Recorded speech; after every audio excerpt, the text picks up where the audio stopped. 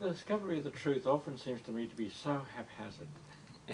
it's, it's not spelled out anywhere. It just you discover it. It comes up inside, or Mhm. you miss it somewhere. Mhm. Yeah. Well, this is where I said it, um, that you have to keep on knocking and keep on asking. It, it, truth comes, but to the person who seeks it the most. Yes. And, um, and it's very important to have that seeking attitude to truth. And remember, it's not an attitude here. It's an attitude here that you have in your heart towards seeking truth.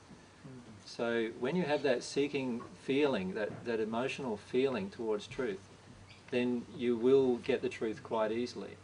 It's because of the resistance that we have that, uh, that we often avoid truth.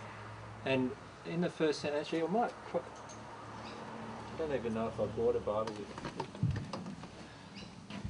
Here we go. He's going to quote the Bible number now. Just been reading my thoughts. I hate that little book. Deal with the emotion, mate. Deal with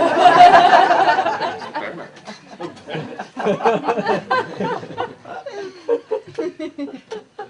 You're not dealing with And this was a verse in the Bible that really appealed to me even in the first century. And I used to quote things from the prophets quite a lot in the first century. And the reason why I did was because there were just so many really good truths that could be illustrated by the words, you know. And one of the things that uh, I used to come against quite often, obviously in the first century, was the the feeling of resistance in people. And you know that in yourself, even at times, you could feel that resistance within you with something I've said, right? Can't you? You just feel it sort of, oh, that grates on me. What did you say that for? And, and you just, there, there's that wall that comes up inside of us and it affects us quite strongly. And there's a Bible uh, verse I used to quote from the book of Isaiah about that. And I'll just read it. Um, by hearing you will hear, but by no means get the sense of it. And looking you will see, you will look, but by no means see. For the heart of this people has grown unreceptive, and with their ears they have heard without response, and they have shut their eyes, that they might never see with their eyes and hear with their ears and get the sense of it with their hearts and turn back, and I heal them. So, what God's saying to you is that if you want to shut down yourself and you want to not see things, then that's what is going to be your reality.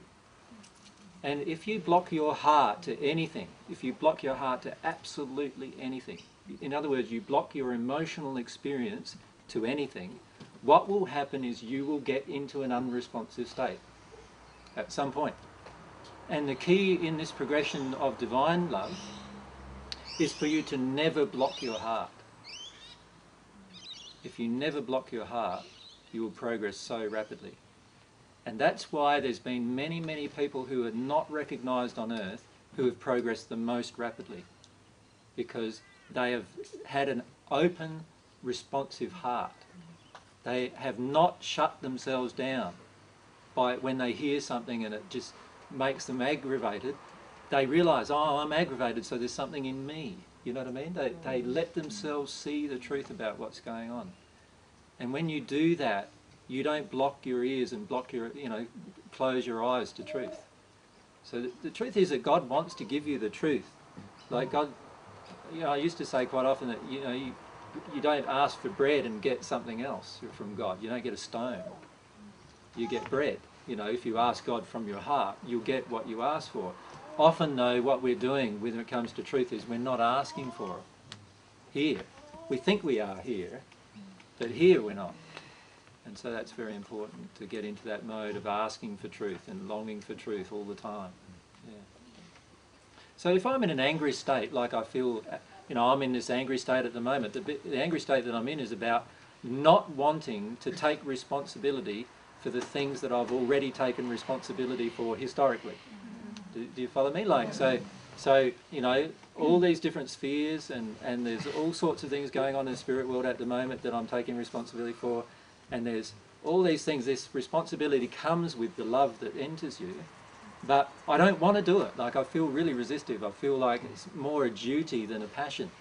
And because of that, there's a fair bit of anger in me about that. About there's a feeling that I have in me that I want my personal life to sort out first, and then I'll do it. You know, there's that kind of feeling there too, right? And and so I've got to face that truth that this is how I'm feeling right now. This is how I'm feeling. Um, I've also got to face the truth that how I'm feeling is an emotional error from God's perspective, and I've got to face that truth as well. And then I've got to face do I want to experience this emotion? So let myself experience the rage that I feel about being forced down a path that at the moment I still don't really feel comfortable with. You follow me? And let myself go through all of those emotions because they are the blocking emotions. So you'll notice these things happening in your own life too, right? Where you're blocking something, you feel angry about something, you feel resistive about something. Notice it, deal with it, let yourself feel it, be honest about it, be honest about it with God and yourself. And then you'll progress really, really rapidly. Don't close down. Don't close down. As soon as you close down, you'll walk away. And then in 10 years' time or 15 years' time or however long you close down, you'll look back on it when you reopen up and think that was a waste of my life. There's no need to waste your life. Just stay open. Just stay open.